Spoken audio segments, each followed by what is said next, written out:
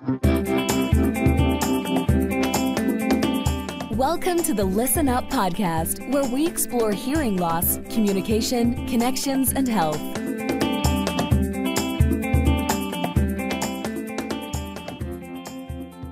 Hey, everybody, Dr. Mark Syms here. I'm the host of the Listen Up podcast, where I feature top leaders in healthcare. This episode is brought to you by Listen Up Hearing Centers. I help patients to effectively treat their hearing loss so that they can remain independent and stay connected with their friends and family. The reason I'm so passionate about hearing loss is because I lost my brother Robbie twice.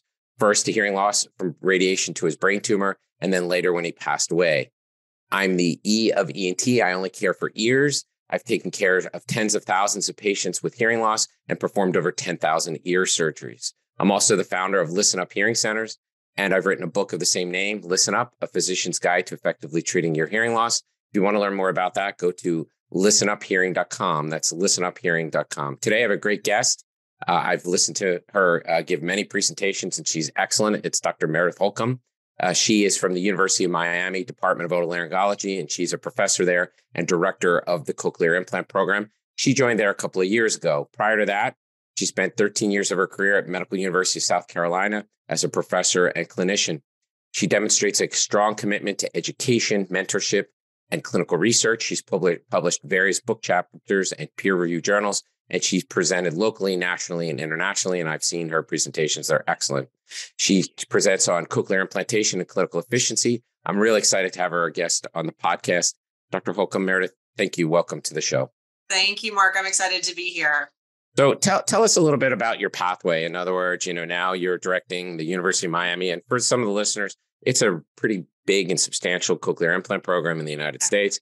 So tell me how you ended up in this segment of audiology, because there's a lot of different areas in audiology people can uh, take care or be involved in. Right. So um, I, have been in this field for quite some time, since 2002 to be exact, actually, um, when I started my AUD program. And I recall the first clinical practicum I had with um, Marcia Adunka, who is Oliver Adunka's wife at the UN, UNC Chapel Hill, um, there was a lady there who was having her implant turned on for the first time. And it was magical. And the fact that she could hear her son standing behind her say, I love you. Um, I, I, that was it. I signed me up. I was ready to do it. Um, interestingly enough, she now works for Cochlear and she's spreading all of her joy and giving the time back that was given to her for her cochlear implant experience. But um, that she was it. And I always tell that story about her when she's around. So that's great. And so that that kind of lit your passion, and then you went and worked at uh, Medical University of South Carolina, cut your teeth, established yourself, and then what brought you to University of Miami? In terms well, of what so I was at, at MUSC for um, 13 years, and you know, very fortunate enough to have a great career there. But sometimes you need to grow a little bit more. And um, Dr. Telischi and Dr. Snapp, who were here at University of Miami, were quite persuasive about coming down south a little farther and exploring some opportunities here. So um, it took about two years for me to really make that decision and for us to get everything worked out. But um, I moved here in June of 2019 and haven't looked back since. It's been um, uh, such a po- positive change for my career in so many different ways and running this huge hearing implant program here with these amazing world renowned neurotologists um, has just been a dream. That's great. And so tell me a little about it. So you come on, and so what are the challenges that yeah. you face? In other words, you know, I mean, sure, the program was running great, but like, so what are the things like when you say, okay, this is my baby now, I want to make some changes or some things I have to tackle? What are those issues that you're tackling? Well, one of the biggest issues we saw when I came in was the limited access to care for patients. So um, what I mean by that is it was taking about six months for a patient who wanted to get an appointment to be seen for a cochlear implant evaluation, which of course is a workup um, testing to determine candidacy those patients were waiting anywhere from like four, six months, maybe even longer. Um, the interesting thing is when you start looking at data and treating a hearing implant program like a business, which probably most people should think about that a little more, um, you realize that there are ways that you can uh, cut the fat in a sense in your own program to make um, to make it healthier and to open up some some doors for patients to be able to get access. So it was not um, probably the most well received at first uh, message. Change is hard, in. right? you know, you've got, and I, I, will stand behind this team of audiologists here are by far the most skilled, I think, of anywhere in the nation. They have um, wonderful way of caring for patients. Uh, but at the same time, you know, I think we get stuck in our ways of how we care for patients. And um, our program was not producing any more cochlear implants actually than MUSC, where I had come from with um, about a fifth or maybe a fourth of the resources internally to serve those patients. So we knew we could make some changes. Um, it took about a year to get everybody on board, and now we're smooth sailing. So it's been tremendous change. So not that. So what were some of those changes? I mean, that's really what people. I knew you were going to ask me that. So, um, you know, the interesting thing is if you if you look at all of our data from how much you know full time effort we had with audiology when I first got here compared to where we are right now, we actually have less full time effort. So less audiologists who are actually seeing cochlear implant patients, um, but we have increased our surgeries by sixty percent and we now only um, have about a one to two uh, wait time for getting patients in. So the way we did that is we didn't hire new people. We didn't invest money and resources for booths or staff. Um, we just efficiently kind of tried to run the program differently. And the, some of the things we did early on was combining appointments. So there wasn't, you know, 10, 12 appointments in the first year, which research says is really unnecessary. Um, and then the second thing we did was looking at extending some appointment times. And that seems kind of counterintuitive, but get more done. I think when you're making a big change like this at an institution that's been running this long, you've got to give a little for them to embrace some of those asks. So that was my give is two hour appointments. You're going to probably think that's crazy, Mark. Um, no, no. I mean, look, if you have to use it to transition to change, I think that's great. Yeah, I mean, and you know, managing it's, not just declaring the change; you have to exactly. get to it, right? I mean, that's, exactly, that's and and sort of the mindset of you know, two ears can be managed by the same audiologist. So really re- reworking our mindset of hearing aids versus implants. Um, with making some of those changes just to the scheduling and then reducing the number of appointments overall that are being seen um, in that first year after surgery, we opened up over 20 weeks, 20 full weeks of appointment times wow. and did not hire anyone. So that was cool. That's great. So tell tell me like so from the initial evaluation to one year after implantation, what's that look like for a patient pathway for you? So now it's um, Four yeah, let's not talk about the past. We'll just talk yeah. about the present. Now okay. it's for appointment. So it's initial activation. Um, we would do that as quickly as a day or two after surgery. Yeah, let's go. Somebody oh. presents as I can. Am I a cochlear implant candidate? Oh, got you, got you. Okay, so if they are a cochlear implant candidate, and I'll tell you, we're a neurotology specialty referral clinic here. So our referrals for CI evals come from our neurologist. The outside okay. referring institutions refer to neurotology. Um, so we have a method of using our electronic medical record in this really cool way. Everyone is uh, sent to a pool. Um, two of us as audiologists triage all of those um, those patients who are sent to the pool. We look at whether or not they are good candidates to evaluate, whether or not um, you know, depending on their insurance, if they maybe shouldn't get, aren't going to be able to get a cochlear implant. Um, we then uh, give them a telehealth appointment all right. Well, let's stop at that. So I, yeah. I know I'm going to really, but so what does that look like? So that's off of the traditional audiogram. You're doing that? Yep. So just a traditional audiogram with unaided word recognition scores, SRTs, and um, then there, of course, air and bone conduction uh, threshold. So the concept would be more likely a cochlear implant candidate. More, more likely. likely. Yes. Okay. Yes. Okay. All right. So most of the time we don't have anyone who we're weeding out i guess so to say and sending in a different direction but there are still, still some limitations with certain insurance companies that we can't get around well but um, i'd also just for the listeners there are people who perhaps on a screening audiogram you might think that they're a cochlear implant candidate yeah. and they hearing aids might be the better option that does right. happen you or know, you so. might not think they're an implant right. candidate and, and, they actually are exactly right, and exactly. so I, i've actually tried i've shied away unless people are clearly a cochlear implant candidate, I actually shy away very much from trying to predict because I, don't believe that the I agree. Basic, basic, audiogram is an instrument to determine and and shouldn't I mean I think there are things that we should use to refer, but I think it's actually not. It, it uh, the analogy I give to people it's like deciding are you going to get coronary ar- artery bypass graft off of an EKG. No, you're right. going to get a angiogram, and the cochlear implant evaluations like the angiogram. Like it's really looking at function. So anyway, go ahead. So no, no, I, I completely agree with you. And yeah. so I think that's the kind of the way we use our triage system is just to make sure the patient's being funneled in the right direction for efficiency for our whole division of audiology. So um, the next step is we reach out to them, or our staff reaches out to them. They're offered a telehealth visit. We started this back when the pandemic was, you know, full fledged. Uh, you could only bring yourself into an appointment, right. couldn't bring your family members. Um, it has been uh, just has changed the way we're doing this process. Transformative, completely. right? It's so worth it. Um, we have a PowerPoint that we came up okay. with, or um, old a slide deck, I guess, is what the young people say now. Um, and it goes through if it's SSD, it goes through all of those options. If it's CI, it would go through all of those um, expectations, just little things about the surgery itself, the device, what we expect. Um, patients love it. It usually takes 30 minutes to an hour, depending on how many questions the patients come with.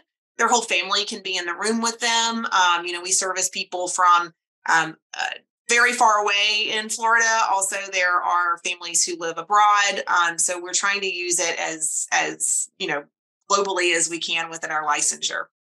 And so, um, just out of, out of curiosity, I assume the questions are done via typing, not uh, auditory, because you know answers are difficult for people who are hearing impaired. I assume that it's closed caption. Yeah, so we have closed captioning on everything, and even before University of Miami had captioning on the Zoom that we use, we were mm-hmm. able to use captioning on the PowerPoint itself. That's a cool feature that a lot of people don't know about. Okay. Um, so the captioning is great. Typically, we don't have any issues. We can also use translators for different languages live as well. We can use ASL interpreters live on Zoom. Um, from that, typically the patient is either, yes, I want to move forward and I want to come in to be tested, or they may say, you know what, this isn't for me. I, am really not ready to to do this. And you know, as you know, Mark, it's elective, and we want patients to be committed to the process. Well, I also think it's a um, uh, speaks well of society's resources, right? I mean, right. not that we don't want anybody who wants it to get it, but if people don't want it, we don't want them to get it because it becomes a squandered resource that somebody else could could have. And as much as we'd like to think it's infinite, it's not. It's finite. And exactly. so, getting people exactly. who want it is is an important aspect of it. So great. Exactly. So then, um, you know, when they if they say, you know what, we're ready to go, I want to be seen for a cochlear implant evaluation. We schedule them at one of our six clinics that we have that span 100 miles um, in South Florida. Um, we have one clinic that's the farthest away from our Miami clinic, and one of my audiologists that I work with, he does all of the evals. He doesn't do any programming, so I call it like an internal sort of CPN mm-hmm. uh, project that we have here at UM, but it's amazing how much time he has saved me um, from having to go up there and see those patients and sure. the time that it takes these patients to come all the way down to Miami. So it's really been uh, an amazing partnership with him. And he, you know, he gets to do something a little bit new for his practice, which he's really loved as well. Right. Yeah. So then they come in, we have the two hour appointment set up. Um, testing is in a sound booth with hearing aids that are appropriately fit. We verify everything before we do the testing. Um, we are more on the side of making decisions about candidacy. Uh, I mean, whole whole patient centered care, right? Sure. So we have some questionnaires too. But from just purely speech testing, we look much more closely at the CNC, the the one syllable words. Um, and then we really just use speech testing for sentences and sentences and noise um, because that's what insurance companies want from us. But right. um, we look much more closely at words now. Sure, and sure. I think no. there's the minimum speech test battery is being revised. Um, so that should be coming out sometime next year, and it will likely follow that as well, with words being the primary um, indicator for whether or not a patient qualifies from a speech test performance. And so, do you roll into counseling in that same session? We do. And, you know, the cool thing is because we did the telehealth, we've kind of gotten a lot of counseling um, done early on. Um, and I forgot to mention this immediately after the telehealth, we send them an email with questionnaires for, you know, uh, quality of life, mental health screeners. We do that on everyone because there's such a link with mental health and hearing loss. Um, and then we also send them um, links to all three of the companies, to American Cochlear Implant Alliance, um, to Facebook groups that are there. So typically, these people, when they come in, they've done They're some pretty, research. Yeah, They're very well informed on their own. Um, and then, you know, if they qualify, if we deem the us qualify, if we feel like a, a cochlear implant would benefit them more than their current hearing status, We show them all three companies. We do work with all three companies. Um, we are more on the side of really trying to figure out which company would work best for the patient. So it's their choice, of course, but we do try to guide them with our professional experience as well. So what what would be those things that would and you don't have to go to the particular companies, but what no, that's it's that, a great question. Be, right? So um, you know, eh, I'll give an example now. It's not quite as quite as meaningful, but at one point, only one company had an app on the phone, and so right. thinking about using that as a scenario. Um, at that point in my career, I was referring a lot of younger parents to that company because they would get notifications on their phone, and yeah. everybody's on their phone all the time. And it would say if their son or daughter if the device had come off. And so we felt like that was a better way for them to monitor um, the device use. Now things are somewhat a little more equitable. So it might just depend on you know the age of the patient and their dexterity whether or not they can truly maneuver the um, the parts and the pieces um, some patients have a, a, preference based off of the hearing aid they may have on the other sure. ear we have a lot of bimodal patients um, and then, you know, I'll be honest, sometimes the clinic clinics, depending on how the companies are uh, cooperating with us at that time, you know, if it's easier or more difficult with customer service or parts and pieces, um, we may be very upfront with patients about that as well. Yeah, no, I, I, don't think there's anything wrong with that. I mean, obviously, yeah. Um, my philosophy is always that they they ultimately pick. I want them to right enter, enter, into the marriage with whatever company that they uh, are going to spend the rest of their lives with so right no no i, I think there's already so one of the uh, questions i have okay so somebody comes in um, you test them um, they don't they're so you know they're binaural meaning they're two ears together appropriately fitted hearing aids which is a huge conversation in of itself huge uh, response is, let's say, you know, in the 90s. Okay. And so, how do you, so this is a fascinating part of the process for me. How do you get them into a different pathway to remediate the fact that they actually, with hearing aid technology that's appropriately cared for, uh, that's their true um, mode that they should be doing, right? Because there are a decent number of people who seek cochlear implantation because, to yeah. lack of a better word, they have crappy hearing aids or the right. hearing aids aren't programmed correctly, right. right? And so they think, well, I'm trying hearing aids, but the answer is hearing aids are still the answer. But how do you how do those get directed? So, you know, I think for those patients, um, pretty quickly when we appropriately fit a set of hearing aids that we have in our clinic, um, they generally notice right away that hey these hearing aids sound better than what i came in with um, and you know they can tell when they're doing the speech testing in the sound booth that they're not flunking i guess um, and you know oftentimes they're relieved that they sure. i don't have to get surgery hearing aid path right, right. um, and I, I think the hard part is when we have patients, and we have many of these down here, when we have patients who financially are not able to afford another set of hearing aids. And so you're in kind of this um, tough situation of the a surgery that their insurance may pay for isn't appropriate. Hearing aids are more appropriate, but financially that's not something that they can afford. Um, and in those cases, depending on the degree of hearing loss or you know how severe the hearing loss is, um, we might have a conversation about a less expensive option of amplification um, that's recently come, been approved um, for like over the counter hearing aids. That's not for everyone, but I do think that there is a place for that technology. Um, yeah, it'd be hard to believe though that if somebody was close to being meeting cochlear implant criteria, yeah. that OTCs would actually be able to aid their loss. I mean, that that would be right. You're screening. So, just for the listeners, the fact that we're looking at their hearing test, your program is as a mm-hmm. triage. They probably have uh, a need more volume than an OTC can give them. I would think so. Yes, I would think so. Um, I'm just saying that that could yeah, be. No, I, I, think we're both alluding you know, to that there's some problems in the hearing aid yeah. channel, for lack of a better word. Huge problems, and especially for yeah. Medicare patients. Yes. Well, actually, I, I mean, my personal belief is that there's just terrible hearing aid care out there, and and we we kind of don't really talk about it as much as we should. Mm-hmm. But that's a that's a bigger topic than what you and I are trying to. I was right. just wondering because that's one of the things we see is is people who have invested in hearing aid care they aren't a cochlear implant candidate and then how do you remediate them and so you know the hard part becomes like i, I kind of i use home maintenance as an uh, an example right like if you hire a, a, painter who comes and paints your house really terribly a room you know the next painter doesn't come say well i know you've already spent x on that paint job um, I'll discount it. Right? They actually charge full both. They charge full, and, so and we, we, would do yeah. that too. Yeah, yeah, and so it's it's a tough spot because you know buyers, you know, and they didn't realize. So anyway, so now they've been declared a candidate, and then so um, you guys have the counseling. I assume you've done some screening with all of these surveys, et cetera, et cetera. And then what? And then if they're you know ready to move forward and they want to take this journey with us, um, we will then get them a surgery date, get authorization through their insurance company, and one of our fabulous surgeons will implant the device, and then we start the aftercare. So when do they have the pre-op with the surgeon? Um, that's a, actually a great question. I think they have it the day before. Here. They come in a night before. I know that, Mark, and I don't know that answer. Right. So, so I mean, and is that done via? Because it seems like that could be also done via telehealth, and also could be done via PowerPoint, right?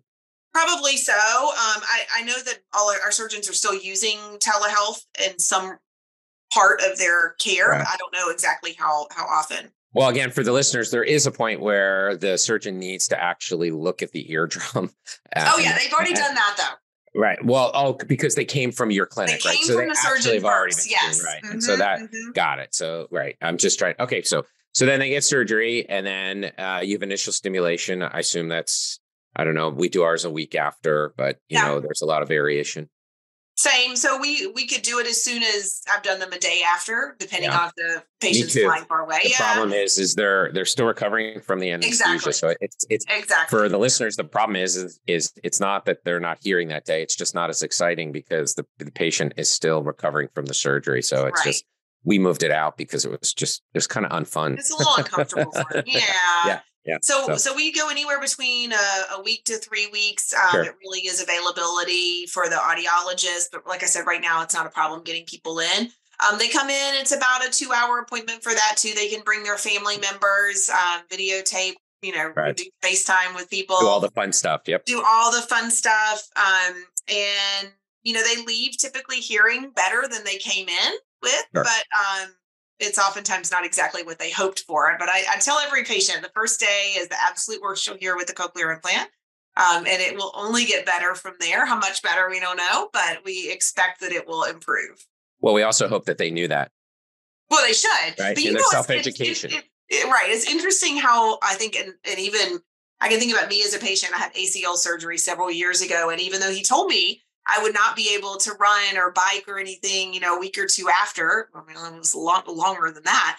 In my head, I still thought that couldn't be possible, right? Because we don't really know what we don't know because we never Agreed. experienced it. So I, I, think no matter how much we we counsel and use the PowerPoint and it's all in writing now, it's still very easy for patients, I think, to get false hope. And also on a lot of the sites that are wonderful for support, they can also be very um, very bad for the amount of information or the type of information that they're giving other patients. So, well, I, I mean, there are, a couple, there are a couple things. One is I think there's what I call magical thinking. So, yes. even if you told somebody like, "Oh, you're not going to be able to use the phone in the week," most people think, "Well, I am because I'm different."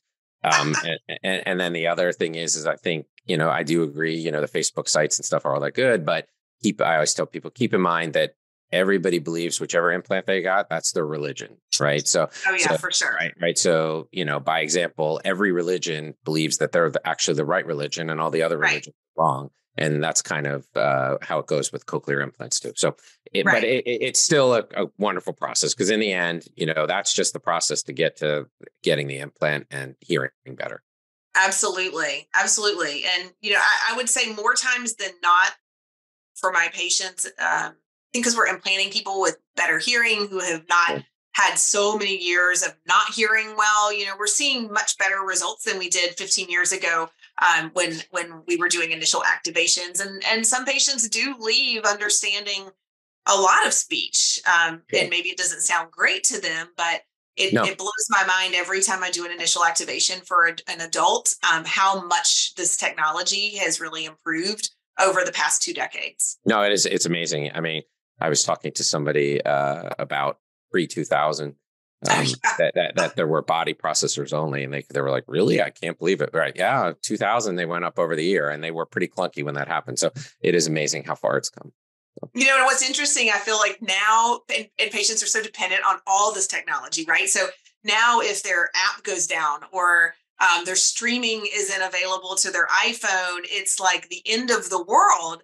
And to us who've been in the field for so long, we think, my God, like people couldn't do this even six years or seven years ago, you know? But it's beautiful that they have that much access to the world and their friends and their families now. And I think we as clinicians often don't appreciate how important streaming to a phone is because we don't depend on that ourselves. Right? I'd agree. I'd agree. Um, and I'm not trying to be tough, but it's interesting how in the hearing aid world, mm-hmm. you readily talk to, say, to a patient, it'll be three to four weeks for your hearing aid to get repaired. And then that patient goes from having a hearing aid to having yeah. a cochlear implant. And all of a sudden, we all say it needs to be fixed in two days. And so, right. I, I, I look, I'm dedicated to hearing, but I actually think in some ways we're creating a little bit of a higher expectation that really stresses the system in terms of delivery. And so it's not yours or mine to deliver. It's obviously right. the companies to deliver, the but companies, it, exactly. it definitely creates that that type exactly. of thing. I mean, I, as a person dedicated to hearing loss, there are hearing loss emergencies, but you know, a broken cable is actually, you know, uh, it has to be contextualized. Let's just put it that way. no, so. I, I completely agree with you, and, and I think it's, uh, you know, it's so generous that many of the clinics around around the U.S. have two processors on contract. So patients who get implanted, some clinics they're able to, you know, give two processors, so you have a backup and one that you're wearing other clinics don't do that. And I know I'll see sometimes that patients on these chats and they're like, oh, my clinic did this and this. And I've worked at both kind of settings. And I don't think patients understand the financial strain it is actually on the institution um, to provide the two processors. But, you know, we do it. I, I actually don't think the right. institutions understand the institutional strain. Yeah, that's probably right. And so the question I have for you is: is whenever you bought your last car, did the auto manufacturer give you two? No, exactly. They, so they this, I, I actually think that everybody should go to a single processor and i think that it's it's not fiscally viable and it actually yeah. unfortunately prevents other people from getting implants and so i mean there is or it would speak to me that well then the processors aren't reliable i mean if toyota you bought a corolla and toyota give you two and they say well what's the second one for well when the first one doesn't work you're going to use the second one most right. consumers would be like that's crazy right and so um, I, I think the hard thing though, Mark, is when you think about the little children. I've worked with children and adults my whole career, and not to say children are more important than adults for their hearing access, um, but I think about like every day that they miss school um, because there's a broken device and they're having to wait maybe two days or maybe it broke on Thursday and the company doesn't get it to them till Monday. Monday. You know, it adds up over time. And if you think about some of these families who have limited resources, it may be adding up more than um, than other families, but you know that may well, be a bigger. I would reflect too. back to you. Why do they have a processor that's breaking that frequently? Right. So right. if it breaks once and it breaks on a Thursday and it's fixed by Monday, that's fine. If it's breaking other every other week, then there's probably either an issue with the processor or an issue with how the processor is being handled. Yeah. And so I, I, don't disagree with you that it's not important, but from a resource point of view, again, I mean, uh, you know, you could argue the same for driving that child to school, right? So the day that the car doesn't work, the child misses school. So let's have two cars. Yeah. Right. I so, suppose. I don't know. I don't know if I buy it completely, but I'll, I'll go with you on that. well, I mean, I don't think there's any other product where people actually have a backup because no, there's not. And, yeah. so, and uh, what I'm going to tell you is is I believe the second processor is some of those same um, momentum and tradition that you encountered when you came in 2019. Um, there's probably just some hills you're willing to die more on than others, but right. I think that that's probably a vestige of some of those cultural issues too. Maybe so, maybe so. so. but I mean, the other, we all have a responsibility for our cochlear implant program to be fiscally viable. And I sure. will tell you, oh, uh, absolutely, I completely. If you look at the numbers from the operating room point of view, that second processor is a huge swing. Five hundred thousand dollars is what it saved us at MUSC to go from two to one right. in one year.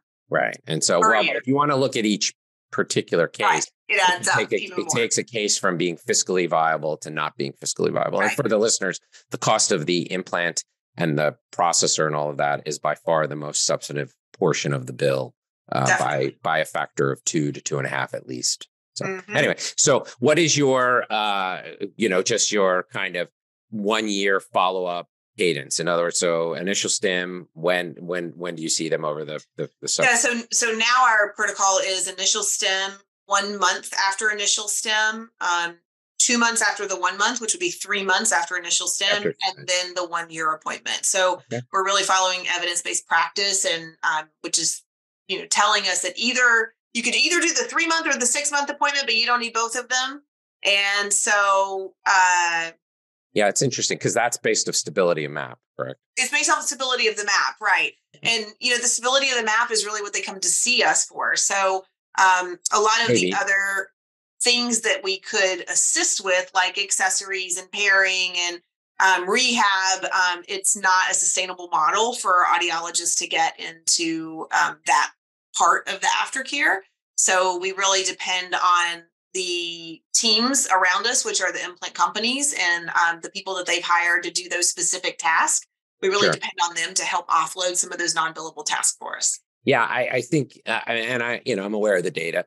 Excuse me. I would think the the one thing that we're not um, spotting, which we need to, is um, patient satisfaction over that time period, right? And so, for most people, that cadence will work. It's just the ones who aren't meeting what their expectations are. And so those are probably the ones that become more consumptive with more um, appointments. And ironically, they think it's the programming that's the issue yeah. when it's when it's not, right? And, right. and so actually I would say probably between this for you, the three month and the one year, you should have non-programming visits because it probably isn't the program at all. It's that they don't have ex- the right expectations or they're not doing the right aural rehab or uh, something of that nature, which, as you were talking about, you forgot that your surgeon told you you couldn't bike or run. So they forget a lot of that stuff too.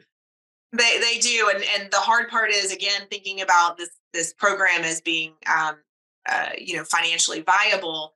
Um, I, I, as an audiologist, actually don't have a good method of billing for those non-programming right. type appointments, yeah. and um, you know that's that's probably not going to be responded well to from higher up in my institution if I'm doing a lot of free visits, really. But um, we do have other people on our teams. We have social worker, we have an educational specialist, we have two auditory verbal therapists who certainly could bill for some of those services. So we try to resource use those resources as much as possible. No, it's great. I mean, look, yeah. uh, obviously, um, unbillable uh, or time that audiologists spend where they can't generate revenue I mean, it sounds very business-like, but the reality is, is the institution uh, needs to be financially viable. Right. You can't, right. you can't. If you're not financially viable, then nobody gets cochlear implants. right. Exactly. so exactly. That, which we don't want that to happen. Correct. Right. Well, well, this has been great. You sharing kind of, um, you know, the whole process, and obviously, uh, you know, I think you and I are aligned and touching on a couple of issues that obviously probably need some transformation or further discussion out there, but uh, n- no major differences. Obviously, uh, we just want to get more people taken care of and provide them with excellent care. So definitely. And the only other thing I was going to add, Mark, when you were talking earlier about the hearing aid, um, kind of, I guess the concern that we all have in the community of how hearing aids are managed for patients. I was going to mention one of my biggest concerns right now is how many patients are buying hearing aid after hearing aid after hearing aid after hearing aid and are not being referred for a cochlear implant evaluation.